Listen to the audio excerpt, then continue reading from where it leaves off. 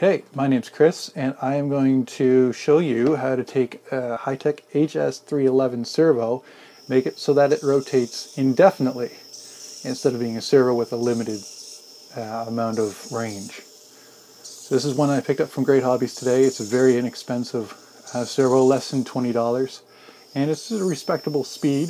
This is running off a USB, so it's running off 5 volt and running off uh, just a, a servo tester here. So um, yeah, let's get started.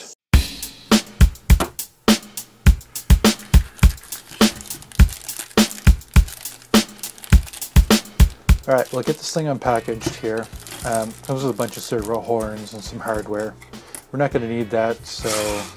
All right, there's two things that we need to do here. Um, one, we need to file down the potentiometer um, key, and we need to file down the uh, stopper key on the output shaft. And so we're just going to take the servo horn off, get the servo apart. It just comes apart with uh, five screws. There we go. Servo horn is off, and then it's just these um, four long screws in the bottom here.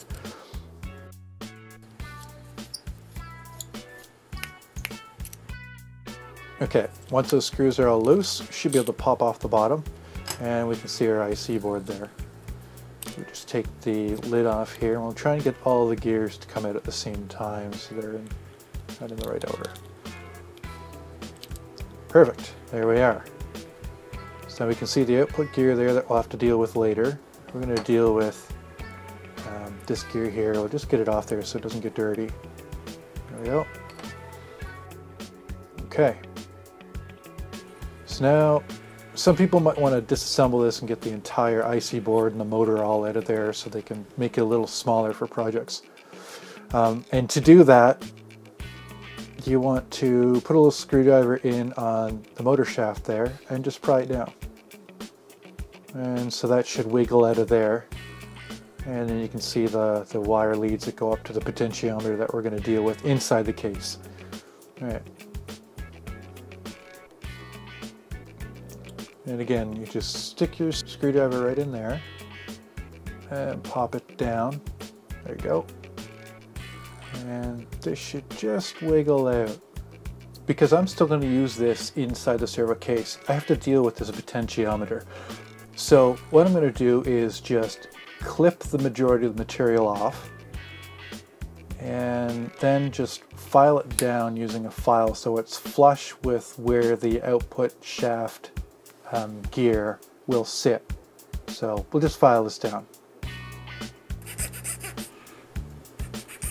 And once it's filed down, should be flush. We're going to hit it with some glue just to keep it from moving around. So neutral will always be neutral.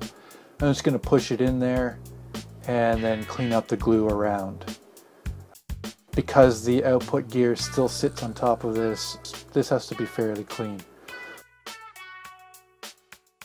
That should do for this video.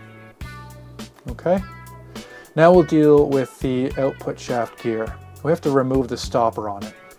And that's the stopper right there.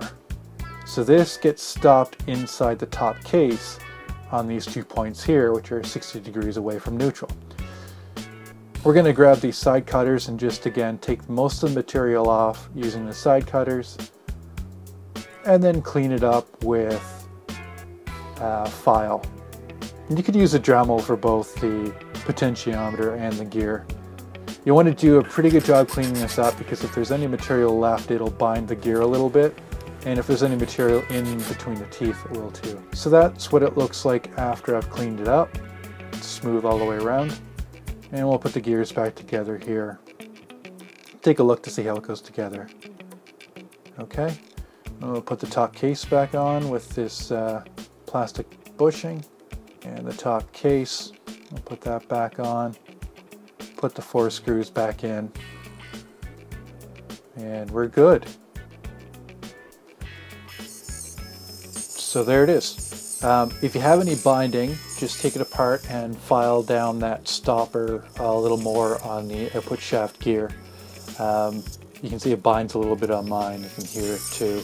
But um, yeah, uh, pretty straightforward, pretty easy modification of this servo and hopefully you can find a, a use for um, a servo that uh, rotates forever.